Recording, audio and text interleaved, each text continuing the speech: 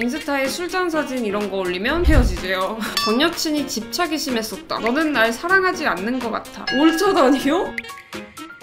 저 상처받겠다. 저 진짜 제발 구독 좀 해주세요. 형님, 제 여자친구들은 왜 이럴까요? 여자친구들은요? 과자 연애를 하고 계신 거 아니죠? 들 이러고 계셔. 제 문제가 대체 뭐길래 저는 이런 연애만 하는 걸까요? 현타가 오셨나봐. 연애를 세 번 했어요. 첫 번째는 한 달을 만났고, 두 번째는 그래도 1년을 넘게 사귀었는데, 최근 마지막 연애는 두 달 만에 끝나버렸어요. 대부분의 연애가 단기 연애시네. 근데 다 끝이 허무했어요. 첫 연애했던 애는 한 살 연하였던 친구였는데 착하긴 했어요. 착한데 이성 친구가 좀 많던 친구였어요. 차라리 이성 친구 없이 나쁜 사람 만날. 근데 얘는 인스타 중독이었어요. 나왔다 여러분. 빅데이터상 인스타 중독이었을 경우 파멸이었습니다. 맨날 이성 친구랑 대화한 내용을 인스타에다가 올려요. 스토리 중독이구나. 어떤 뉘앙스의 내용이냐면요. 둘이 DM을 주고받은 내용인데 발렌타인데이인데 초콜릿 받았냐? 왜? 네가 주게? 내가 만들어줘? 진짜? 이런 DM 캡처본을 올리고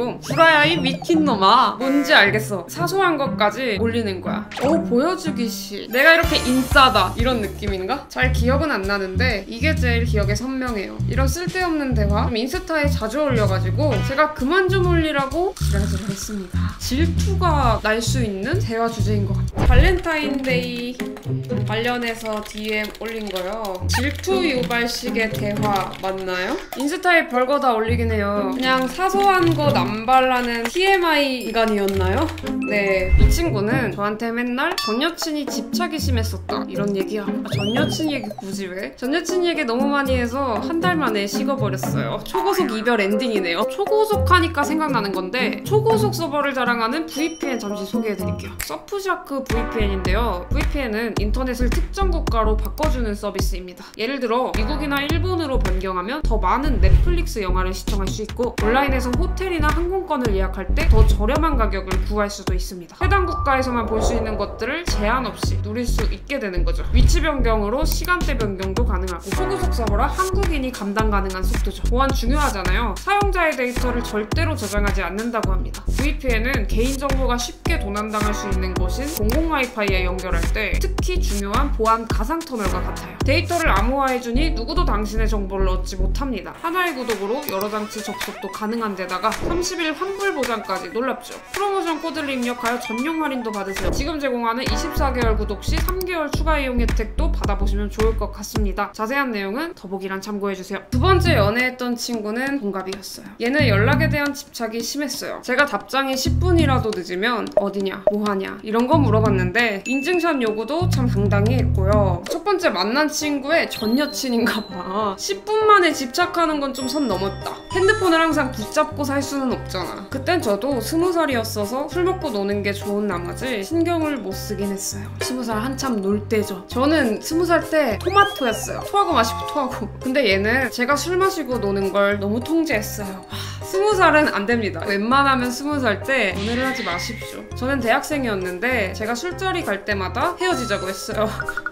1년 정도 만났는데 1년에 다섯 번은 차였습니다. 그 이응시옷 이응이랑 비슷한 류였던 건가? 당연히 대학교 단체로 술자리 있잖아요. 근데 얘는 재수생이긴 했는데 환경이 달랐고 술자리 끝나고 인스타에 술잔 사진 이런 거 올리면 헤어지재요. 이응시옷 이응이당. 처음엔 몰랐는데 매번 차인 순간이 술자리 이후 얘가 갑자기 뾰루퉁해지고 대화하다가 서로 기분 나쁜 티 나고 그러다가 헤어지자고 이별 통보 당했더라고요. 돌아보고 나서 안 거야? 이런 루트 로 통보를 당했다는 걸 마지막 이별 통보 당했을 때 안 잡았다가 영영 헤어지게 됐어요. 다섯 번 정도 통보 받았으면 사연자분도 오래 버텼다. 그때 얘가 난 너랑 사귀면서도 항상 외로웠어 이러더라고요. 재수생이랑 노는 게 부러웠을지도. 반면 사연자분은 대학생이어서 신나게 노니까 재수생의 입장이었던 여자친구가 아, 나는 이렇게 집에 있는데 너는 놀아? 노는 게 부러웠던 거야. 상대방이 조금 수동적이었던 것 같아. 서운한 게 있고 고쳐줬 으면 알려줬으면 하는 부분이 있으면 대화를 통해서 말하면 되는데 그 이응시옷 이응 사연자처럼 이응시옷 이응 당연히 그러면 사연자분도 기분 나쁘고 맨날 차이는데 얘는 정말 나와의 사랑을 가볍게 생각하는구나. 헤어지자는 말을 무기로 쓰는구나. 이럴 수도 있고 세 번째 연애는 두 달 컷인데 대박이에요.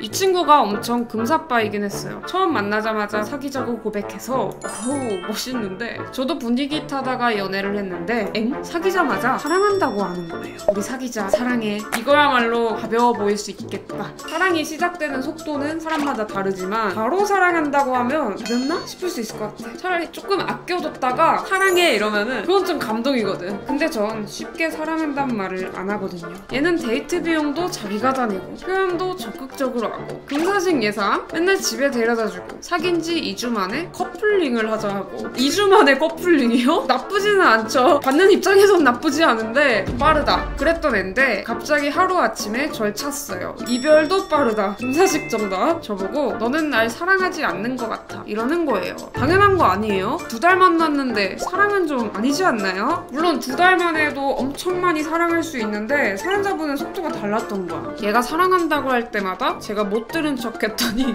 아니 사랑해 했는데 못 들은 척 했다고요? 어? 아 배고프다. 저보고 왜 너는 사랑한다고 안 해? 이러길래 아직 안 사랑하니까 얘기했는데 그게 상처였다는 거예요. 아직 안 사랑하니까는 좀 너무했다. 상처일 수도 있긴 함. 자기 혼자 전력 질주를 했으면서 뭐 하는 걸까? 근데 이런 사람들 있어. 진심으로 사랑해야만 사랑한다고 하는 사람들 있어. 근데 뭐 그래요? 솔직한 건 나쁘지 않아 근데 그래도 좋아는 했거든요. 하루아침에 자고 제 대답도 안 들어보고 올차단 받길래 오 올차단이요? 대체 뭐 때문에 그렇게까지 나한테 적이 털렸나 싶은 거예요. 뭘까요 송님? 네 창과 방패네요. 마지막 연애는 씁쓸하다. 근데 사연자분이 아직 안 사랑하니까 칼 같았던 것처럼 상대방도 그냥 칼같이 올차단 박은 거예요. 깔끔하네요. 사랑할 때는 불도저처럼 직진하고 헤어질 때는 대답도 안 들어보고 차단한다. 야 졸라 깔끔하다. 대답은 들어야 지 마지막 연애는 조금 상처일 수도 있긴 하겠네요 사실을 얘기한 건데 연애할 때 지나치게 솔직한 것만이 좋은 건 아니다 평상시에도 좀 솔직한 스타일이신가요?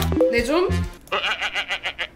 끝이야? 끝인가 봐. 그동안 말 많은 사연자분만 만나다 보니까 좀 당황스러워. 모두 연애가 다 같은 이유는 아닐 거예요. 근데 비슷한 느낌은 받거든요. 첫 연애부터 돌아봅시다. 첫 번째 연애가 TMI 남발이었잖아요. 질투 유발을 했던 것 같은데 맞아요? 네, 은근히 두 번째 연애 같은 경우에도 재수생이어서 상황이 안 맞았던 것도 맞지만 마지막 멘트가 난 너랑 사귀면서도 항상 외로웠어. 그리고 이제 마지막 연애 너는 날 사랑하지 않는 것 같아. 모두 같은 말을 하고 있어요. 표현이 부족했던 거 아닌가? 상대방들이 사랑이 부족하다고 느꼈던 건 아닌가요? 물론 사연자분 탓하는 건 아닌데 사연자분께서 내 문제가 뭐냐고 물어보셔가지고 굳이 굳이 문제를 끄집어낸 거예요. 관심 없어 보이는 거. 혹시 그런 거 아닌가? 그랬던 것 같다고 합니다. 평상시에도 애정 표현을 잘 안 한다거나 표현을 억지로 하려 하진 않아요. 할 말이 없을 땐 대답만 하는 것 같기도 표현을 남발하라는 건 아니지만 억지 로라도 하려고 노력은 해야 돼요. 말하지 않아도 행동으로 보여주면 된다 라고 생각하는 건 내 개인적인 생각일 뿐이야. 혹시 마지막 연애에서 사랑한다는 말을 안 했다고 하셨는데 좋아한다 뭐 이런 말? 그런 것도 평상시에 잘 안 하셨는지요? 잘은 안 했어요. 낯간지러워서 좀 네. 말씀하셔도 됩니다.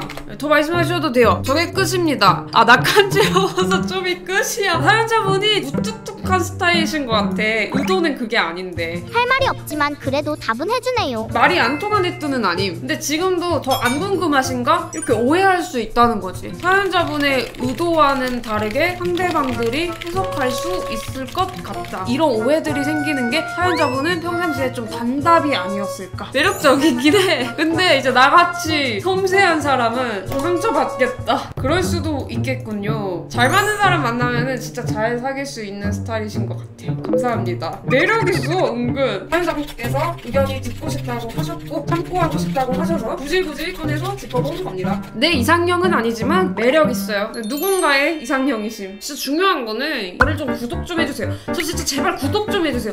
미안해요 구독할게요. 아니 아직도 안 한 거야?